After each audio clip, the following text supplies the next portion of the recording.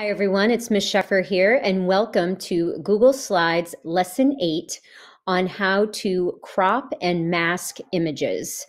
This is a really simple way to add additional visual interest in your presentation. So to start, I'm at the National Geographic Kids website and I have found this absolutely adorable picture of two lions and I want to put this in my presentation. So as a quick review, um, there are lots of websites where if we tap and hold on this picture, we can save the image and it's saving it directly to our camera roll. So now I'm going to double click on my home screen. I'm going to go back into my presentation and I want to insert that image on slide four. So I'm going to tap on the plus sign. I'm going to go to image from photos and I'm going to select that image that I just saved to my camera roll. Now, there um, are additional tools that you can use with images, and the first I'd like to show you is the crop tool. So you'll notice at the top there is a pencil icon.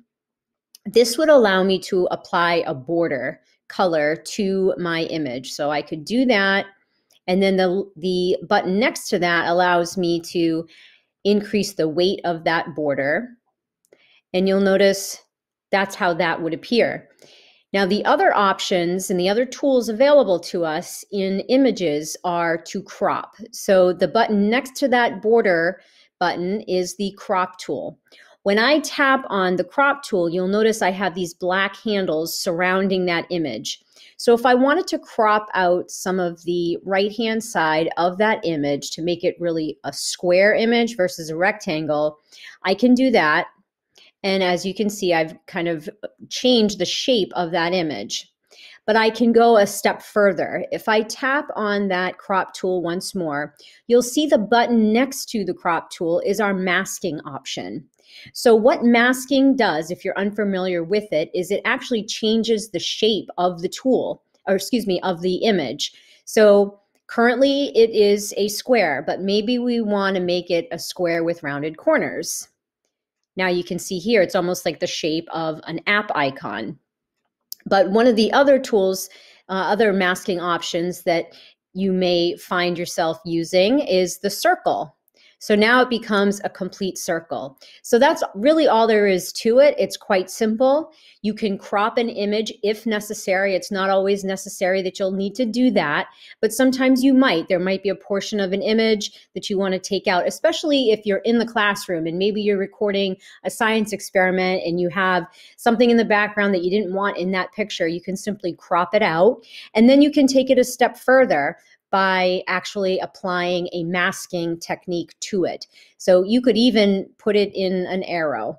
So if that were to make sense for the purpose of your project, um, the purpose of your presentation, you can certainly do that. You can also even use call outs. You can use um, the speech bubbles.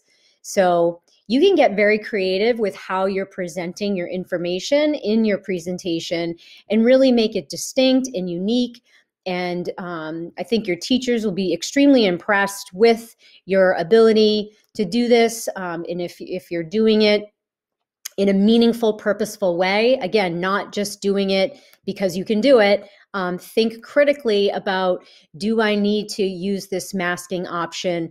Does it A, make my presentation look better? And is it does it serve a purpose? So again, that is a quick and easy way to crop images and to use the masking tool. I hope this is new for you and that you will give it a try as you are building your next Google Slide presentation. Thank you.